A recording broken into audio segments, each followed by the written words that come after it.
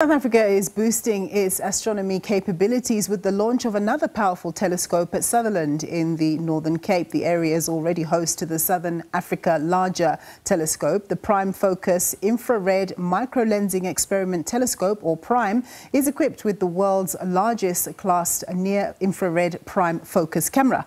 Well, let's uh, go to my colleague, SABC News reporter Ulrich Hendriks, to tell us more. A very good afternoon uh, to you, Ulrich. Very technical stuff stuff. What do you have for us?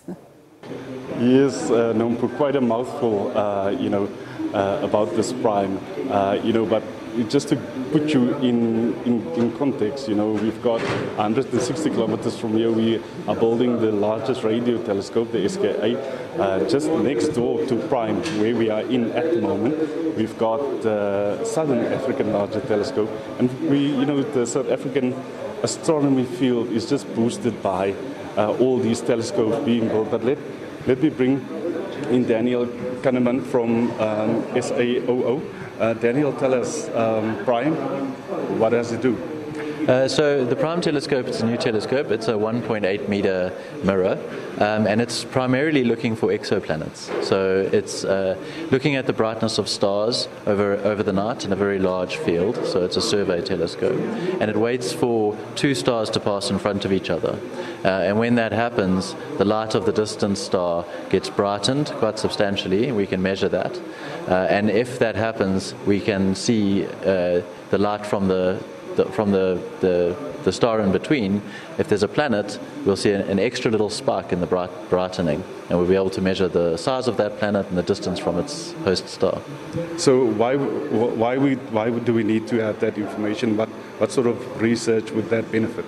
So exoplanet research is, is uh, very popular at the moment uh, for a lot of reasons. Firstly, we only discovered exoplanets or planets around other stars uh, less than 20 years ago, uh, so we don't really have a lot of them to look at.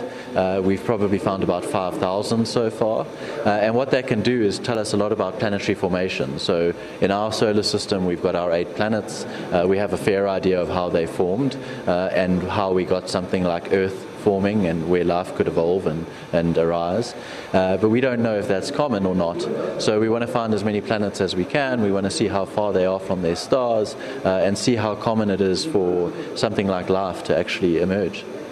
Um, Daniel, just a technical question. How is the how does it work? We know it, it shoots uh, infrared signals, so yeah, just very technically. Yeah but yeah, yeah. break it down for, for, sure. for, for us. Sure, of course. So, so a normal uh, optical telescope, something like SALT, which you mentioned, just looks at the optical wavelength. So that's just visible light that we can see with our eyes.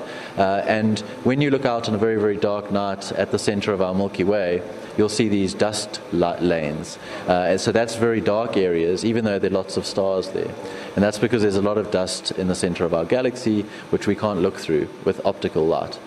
So what this telescope does is it looks in the infrared. So it's a slightly longer wavelength to what we can see with our eyes.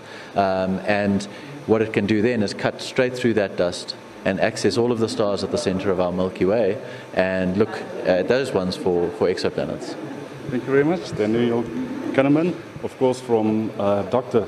Uh, you know, is uh, attached to SAAO. I hope, Nampu, that it's a bit clearer now for you and for, for us. So uh, very different from SALT and, of course, from the SKA. And they're looking for exoplanets uh, using infrared technology. Nampu? Thanks very much, Ulrich. I think one may need to read a little bit more about it, but thank you so much for that report, my colleague there, Ulrich Hendriks. And finally, New Yorkers rang in the Lunar New Year at Chinatown's annual firecracker ceremony.